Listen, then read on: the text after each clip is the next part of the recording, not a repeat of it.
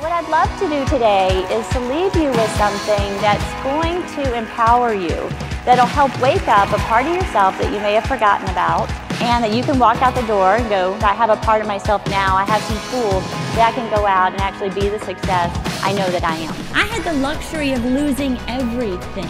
And I say luxury because we rarely have that time when we have a clean slate.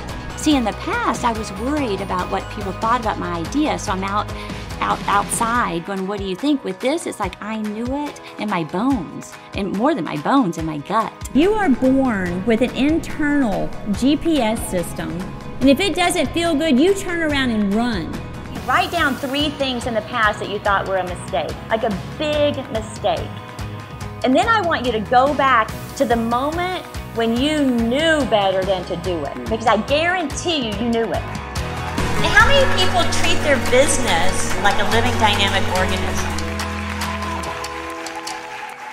I have a theory that the businesses that actually make it are ideas that were born, they were alive within the person.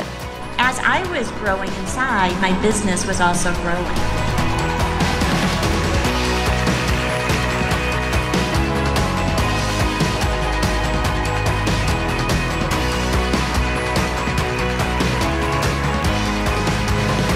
Yeah! Who's this guy? Bring him to your party.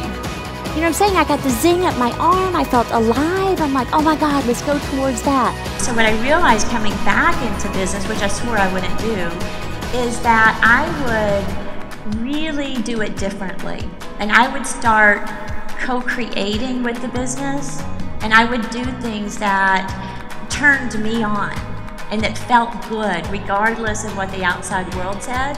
How can I shine my light more? And how can I use the story to inspire other people?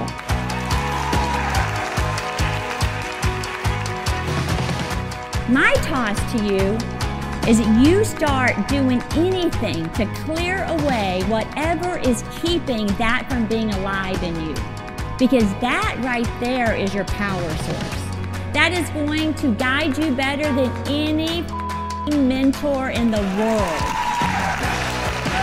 Like, what? The point with me sharing the story is so that you can learn a little bit about what I've learned the hard way.